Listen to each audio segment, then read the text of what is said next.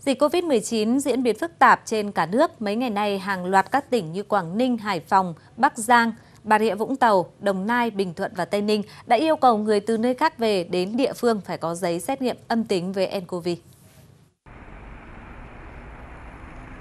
Theo công văn của Bộ Y tế ngày 7 tháng 7, gửi Ủy ban Nhân dân 62 tỉnh, thành phố, tất cả người từ thành phố Hồ Chí Minh đi 62 tỉnh thành phải tự cách ly 7 ngày, lấy mẫu xét nghiệm COVID-19 3 lần.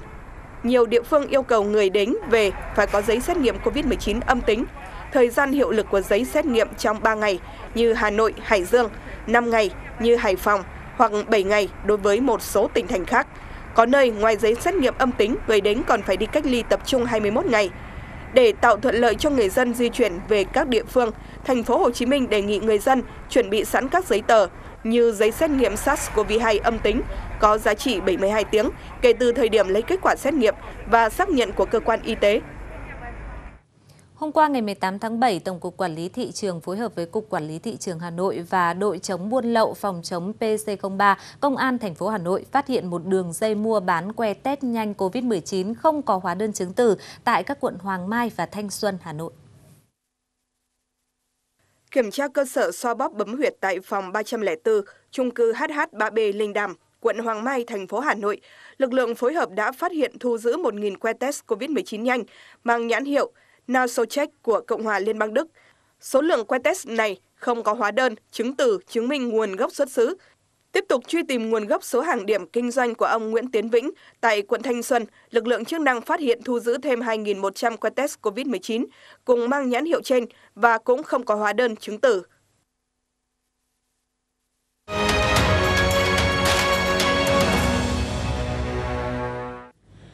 Thưa quý vị, tiếp tục chương trình sẽ là những thông tin về bệnh viêm da nổi cục trên đàn gia súc tại Bình Định và Quảng Ngãi. Tại Bình Định, tình hình bệnh viêm da nổi cục trên đàn bò vẫn diễn biến phức tạp, khó kiểm soát. Số lượng bò mắc bệnh liên tục tăng lên trên 10.000 con với gần 900 con chết, ước thiệt hại hàng tỷ đồng. Hiện ngành thú y địa phương đã tổ chức tiêm phòng được gần 230.000 liều vaccine, tiếp tục chi viện thêm 203.000 liều mới để phân bổ cho người dân tiêm phòng trên đàn gia súc. Tại Quảng Ngãi, dịch đã lây lan ra 13 trên tổng số 13 huyện, thị xã, thành phố với hơn 12.800 con trâu bò bị nhiễm bệnh, hơn 450 con đã bị chết hoặc phải tiêu hủy, ước thiệt hại gần 11 tỷ đồng nguy cơ dịch bệnh tiếp tục lây lan và kéo dài nhiều tháng vì đang trong mùa ruồi hút máu phát triển. Ngoài ra, số lượng vaccine tiêm tổng đàn mới được 50.000 liều, trong khi tổng nhu cầu cần tới 300.000 liều. Việt Nam phụ thuộc lớn vào nguồn nguyên liệu thức ăn chăn nuôi nhập khẩu. Mỗi năm thì ngành nông nghiệp trong nước chỉ có thể cung cấp khoảng 4 triệu tấn cám, 4 triệu tấn sắn, trong khi nhu cầu này lên đến 27 triệu tấn các loại.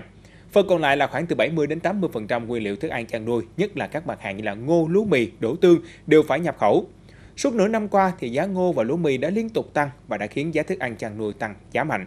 Để gián tiếp giảm giá thức ăn chăn nuôi thì Bộ Tài chính đã vừa có đề nghị giảm thuế nhập khẩu ngô và lúa mì. Đối với mặt hàng lúa mì, Bộ Tài chính đề xuất giảm mức thuế suất nhập khẩu xuống 0%, còn đối với mặt hàng ngô, Bộ Tài chính đề xuất giảm mức thuế suất thuế nhập khẩu xuống 3% so với trước đây là 5%. Theo một số liệu thống kê mới đây, cả nước hiện có khoảng từ 45 đến 50% trang trại gia cầm lớn đang treo chuồng và khoảng từ 70 đến 75% gia trại và số hộ chăn nuôi đã tạm ngừng tái đàn do giá thức ăn chăn nuôi tăng cao. Trong khi với chăn nuôi lợn, các nông hộ và gia trại không chủ động được giống và thức ăn chăn nuôi cũng đang lao đao vì thua lỗ do giá cám tăng và giá xuất chuồng giảm thấp, chỉ từ 50 đến 60.000 đồng một kg lợn tùy loại. Tình trạng này nếu tiếp tục kéo dài sẽ dẫn đến thiếu hụt nguồn cung thịt trong nước. Tiếp tục chương trình sẽ là những thông tin dự báo thời tiết đáng chú ý qua phần trình bày của biên tập viên Ngọc Trâm.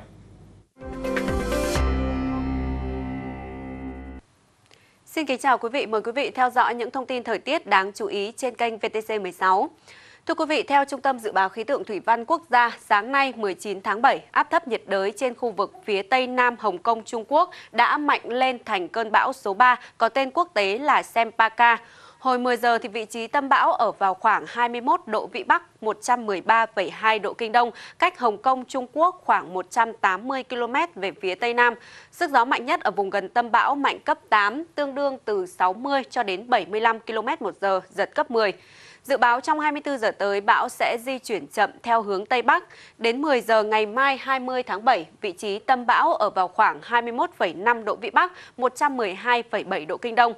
Trong 24 cho đến 48 giờ tiếp theo, bão di chuyển theo hướng Tây Tây Bắc và trong 48 cho đến 72 giờ tiếp theo, bão có khả năng đổi hướng di chuyển theo hướng Tây Tây Nam, mỗi giờ đi được khoảng 5 km và sẽ suy yếu thành áp thấp nhiệt đới. Do ảnh hưởng của rãnh áp thấp có trục đi qua khu vực Bắc Bộ nối với vùng áp thấp nhiệt đới trên khu vực phía Bắc của Bắc Biển Đông và vùng hội tụ gió lên đến 5.000m nên trong hôm nay và ngày mai 20 tháng 7, khu vực Bắc cũng như là Trung Bộ sẽ có mưa vừa mưa to, có nơi mưa rất to với lượng mưa phổ biến từ 70 đến 120 mm một đợt, có nơi trên 150 mm một đợt. Thời gian mưa tập trung vào chiều tối và đêm. Do mưa lớn dự báo từ nay cho đến ngày 21 tháng 7 trên các sông suối khu vực Bắc Bộ có khả năng là xuất hiện một đợt lũ với biên độ lũ lên từ 1 cho đến 3 mét và có khả năng đạt mức báo động 1. Nguy cơ cao xảy ra lũ quét, sạt lở đất tại các tỉnh vùng núi và ngập úng cục bộ tại các vùng trũng thấp ven sông, đặc biệt là các tỉnh Lai Châu, Sơn La, Điện Biên, Lào Cai, Yên Bái, Hà Giang, Tuyên Quang và Thái Nguyên. Thời tiết mưa bão là điều kiện thuận lợi để dày lưng trắng, môi giới truyền bệnh lùn sọc đen hại lúa phát sinh, phát triển mạnh. Do đó bà con cần phải làm tốt các công việc sau đây. Cần kiểm tra đồng ruộng thường xuyên, dừng bón phân đạm cho lúa và duy trì mực nước thích hợp. Khi bà con thăm đồng và phát hiện dày nâu với mật độ lớn hơn 2.000 con trên 1 mét vuông ở giai đoạn lúa đẻ nhánh làm đồng hoặc lớn hơn 3.000 con 1 mét vuông ở giai đoạn lúa làm đồng chỗ thì cần phải phun thuốc trừ dày. Cuối cùng sẽ là những thông tin thời tiết cụ thể cho các vùng trên cả nước vào ngày mai. Mời quý vị cùng theo dõi.